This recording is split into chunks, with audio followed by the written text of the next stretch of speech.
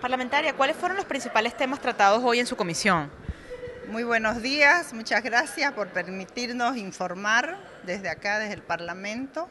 Nosotros en la Comisión de Infraestructura hoy hemos aprobado algo muy importante, que es trasladarnos hasta Santa Cruz, Bolivia, y de ahí trasladarnos hasta la misma hidrovía Paraguay-Paraná. Vamos a navegar por el canal Tamengo, vamos a recorrer y visitar eh, la toma de agua porque es un obstáculo para la navegación, especialmente para Bolivia, para las barcazas de Bolivia, porque no pueden ingresar en conjunto, tienen que ser separadas e ingresar una a una por este, porque esta construcción está muy baja, la toma de agua. Y por otro lado, ¿qué opina de los últimos acontecimientos en Colombia y cuál sería el impacto en la región?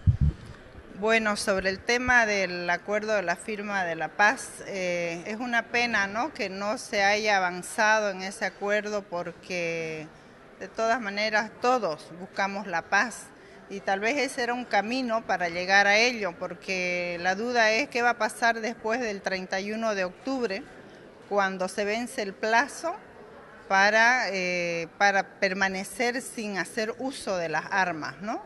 El presidente de Colombia, Santos, dijo de que se había aprobado por una, algo especial eh, postergarlo hasta el 31 de octubre. Imagínese después de esa fecha eh, qué sucederá con las FARC, qué decisión tomarán.